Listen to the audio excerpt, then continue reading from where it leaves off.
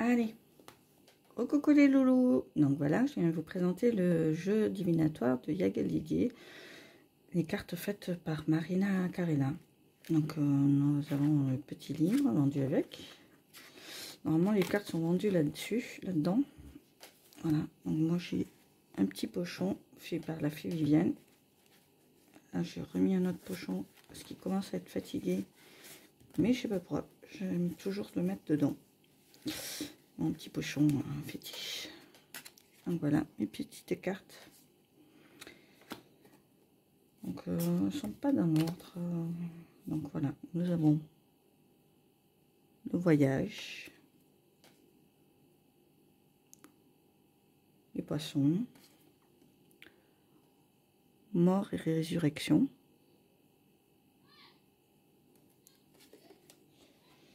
le renard,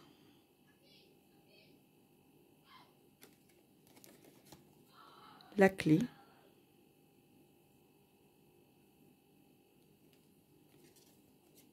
le soleil,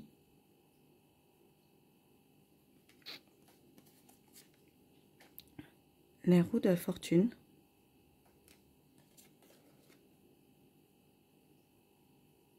la lune,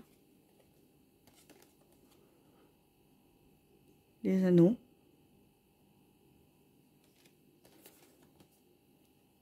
les serpents.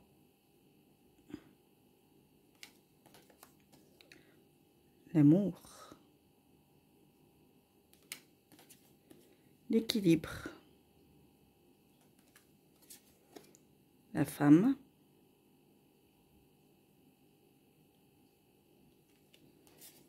La maison. Les plaisirs. La justice, le magicien, le lion, l'homme, la sagesse, les nouvelles, le travail, la foudre, l'étoile, le diable, l'arbre. Et les enfants. Dans ce jeu, il y a des cartes, euh, on va dire, bénéfiques et négatives. Donc le diable est négative, l'arbre, les toiles sont positives, la foudre une négative, le travail, bon, c'est le euh, travail. Les nouvelles, normales. La sagesse, l'homme. Le lion est magnifique. Le magicien, bon, c'est entre, entre les deux. ça, dépend des cartes où, à qui on tombe. Justice, pareil. Plaisir aussi. Euh, la maison, pareil. Il y a la femme. Équilibre aussi. L'amour, c'est les serpents négatifs. Les anneaux la lune, la lune, la lune, la lune, ah, je sais plus. La lune, elle est sur...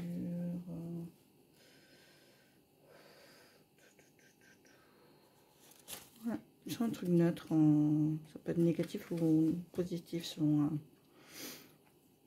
selon avec un tombe. La fortune, pareil. Le soleil, bonne carte clé. Bah, le renard, euh, généralement, euh, je sais pas, moi je le trouve pas très très positif, mais euh, après ça dépend les cartes qu'on contemple bien sûr. Bon, mort et résurrection ne veut pas dire forcément mort, comme, dans toute carte. Les poissons aussi, c'est l'argent. Là, c'est les tromperies, le renard. Les poissons, c'est l'argent. Et le voyage. Voilà. Donc, nous avons 4 cartes négatives, une carte 4 euh, positive. On n'a pas besoin de les recouvrir, cela. Bon, les négatives, on peut les recouvrir, bien sûr. Si derrière on tombe sur, euh, euh, le soleil, voilà, c'est fini, quoi. Tout, va bien se passer, quoi. Comme l'étoile, voilà. C'est un super jeu auquel j'ai bien accroché. Les cartes sont, un peu fines, un peu molles. Euh, ça doit... Je manipule et déjà les, les coins sont un petit peu abîmés. Mais bon, j'accroche beaucoup. Donc après, on a le livre. Monsieur vous explique euh, cartes, les secrets. Voilà. on a bien, marqué les cartes bénéfiques, l'étoile, le soleil, le lion, l'arbre, négatif, mort et résurrection, les serpents, le diable, la foudre et le renard. Ah ben il considère négatif les renards. Voilà, et après tout le reste c'est des cartes neutres.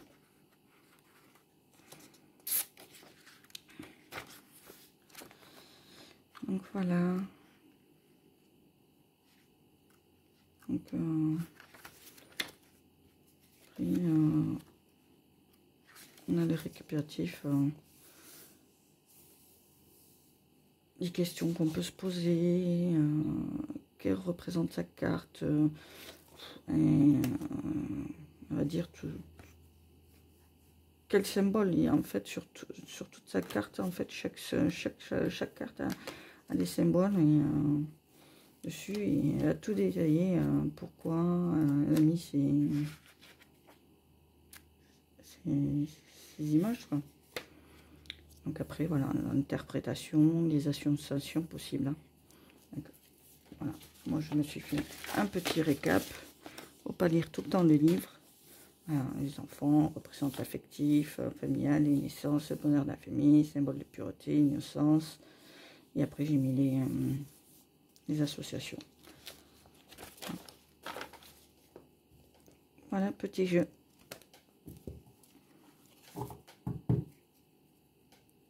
Allez, au revoir.